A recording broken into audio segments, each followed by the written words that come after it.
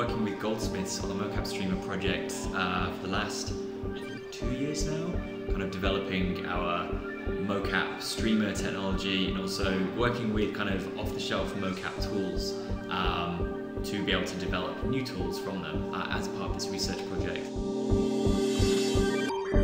Some of the stuff that I've been doing today is uh, well presenting uh, our new piece that we've just launched today, which is uh, kind of trying to break, break beyond the T-pose. So like of a normative body T-pose, how do we then start to represent non-normative bodies in the virtual space? I'm one of the dancers from Candoco Dance Company. We've been collaborating on this project that explores where our access needs are with virtual reality, and motion capture technology, and then ways of kind of dismantling barriers that we experience.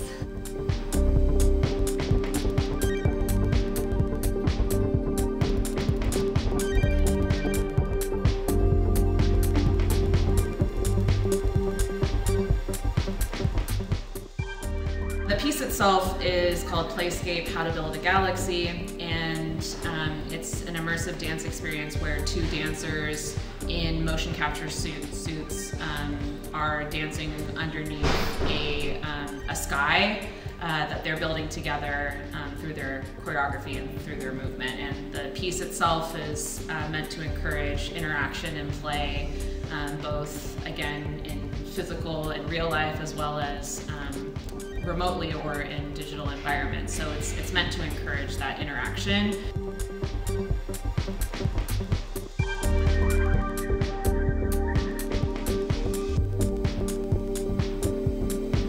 Certainly when you're uh, suited up and you've got all the graphics and the incredible audio, um, you're utterly immersed in the whole experience. So yeah, you suddenly have this sort of outer body sensation and uh, it was really special being part of it today.